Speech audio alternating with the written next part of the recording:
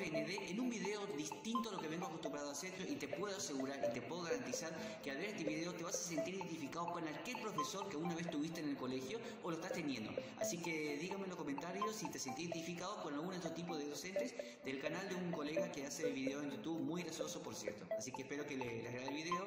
Un beso a todos, nos estamos viendo.